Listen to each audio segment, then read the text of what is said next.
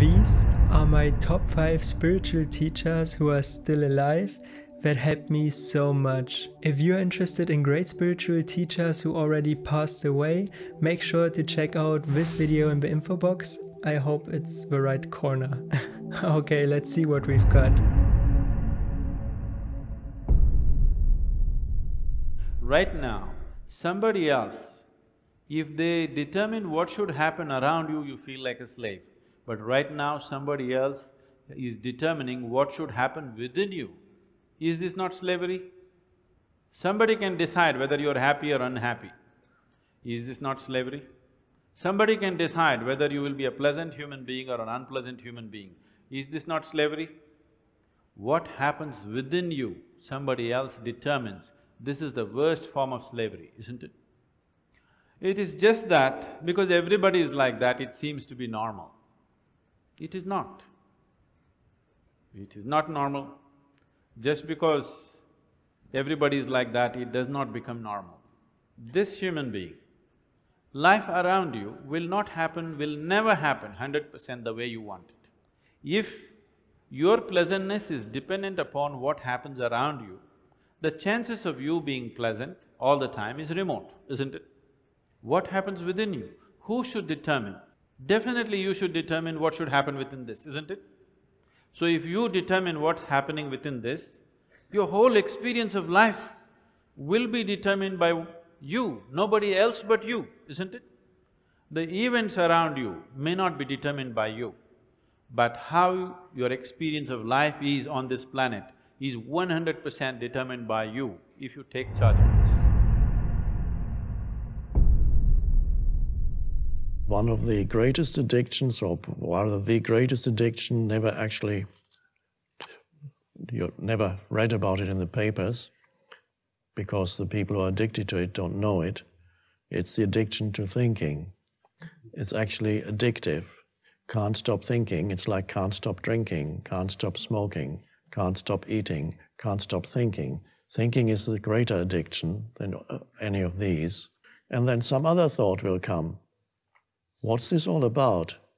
And then you can allow that thought to arise and then be present again, which means you're not really, your priority is no longer to follow the thought where it wants to take you, because the thought has a magnetic pull, it wants more of your consciousness, it wants to grow, because it's a little entity. It wants to grow, so it wants your attention. And in subtle ways, it tries to get your attention. It says, it might even use a bodily feeling. It says, God, I'm hungry suddenly. Uh, why didn't I need to eat something? And then you think of a re- what restaurant am I going to afterwards? And so the presence is gone, you are gone, you are looking for a restaurant in your mind. when you follow a thought, it goes like that. You can wake up 20 minutes later and it started with being a little bit hungry and thinking of a restaurant, and it ends up with thinking about how dreadful your life is.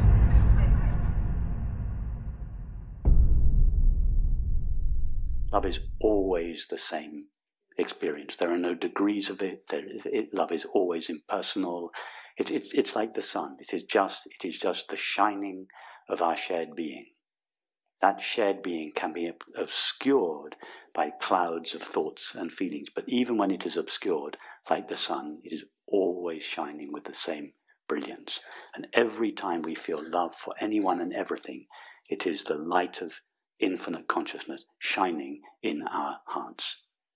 And whenever you meet a stranger on the street and you, you smile at them, that is a little shining of love being just a little recognition of, of our shared being with that apparent stranger who in that moment is not a stranger.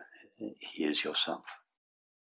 So let me reinterpret what you are, are asking. Is, is it possible for psychedelic experience to facilitate the thinning out of the cloud cover of thoughts and feelings and therefore make available yes, exactly. this, this, love? Okay, I, I grant you the, in, in this experience that there was a, a thinning of the cloud cover yes. of thoughts and feelings, and as a result, this this this ever-present being. You you, Mm-hmm. you felt it and you realized you, you felt that this being was universal. It is a, there is only one being Yeah. in existence, and that's what you felt. Mm-hmm. It is thoughts and feelings that fragment or seem to fragment this single being into a multiplicity and diversity of, of selves.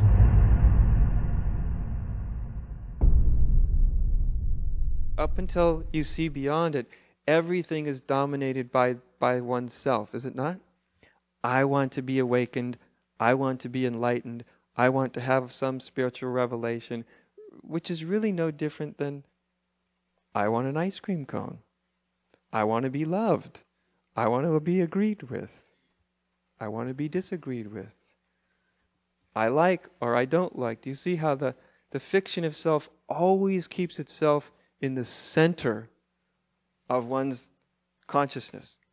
And spiritual awakening is seen through the fiction of that, that actually there isn't actually a self in the center of one's consciousness. That's what this term that I use, that a lot of people don't like, or it frightens them, emptiness means.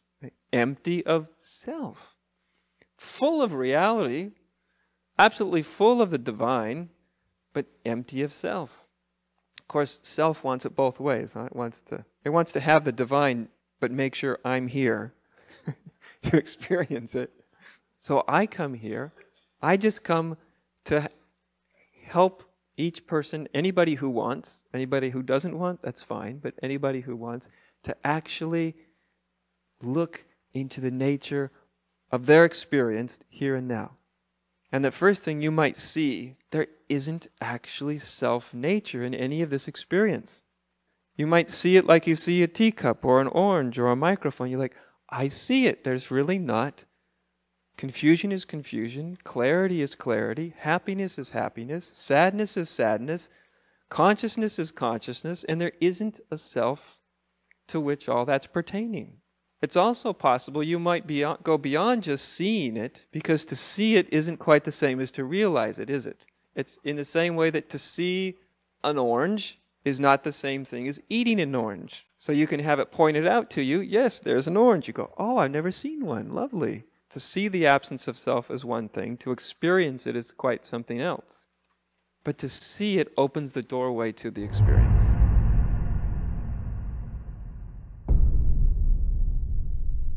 how, how, I, how I can keep it. Relationships are not something to keep. It's to be enjoyed out of your freshness. And uh, in, in your strength, you find that everything becomes more pure. Uh, everything wants to be with you when you're empty of intention. You know, too much intention creates tension in your natural state of being. You don't need, don't need to be approved of. You don't even feel you need to be loved even. Can you imagine such a thing? of being in a place where you don't even need, you don't need it to be loved. It's a very quiet place. In this place, your love becomes very open, very broad, very beautiful, very strong. Look at what it is that feels anything good, I must grab it. Just to look at that. And uh, who is doing this? You see, who needs this thing? And be very, very quiet with this kind of question to see what are what is functioning in your name and find out is it really you or is it just uh, some kind of image that is a projection of your mind and some space will come and that space will be something uh, very important to recover again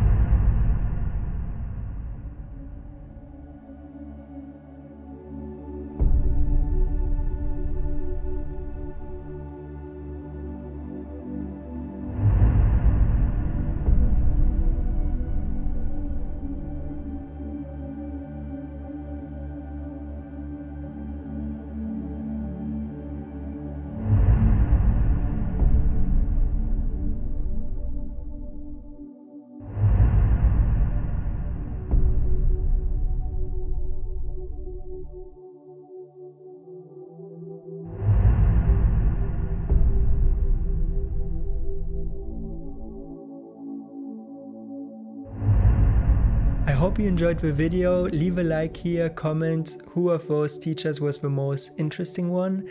And you should definitely also check out this video about spiritual teachers. And yeah, why not this one as well? Have a great day. My name is Till, and this is Till Talk.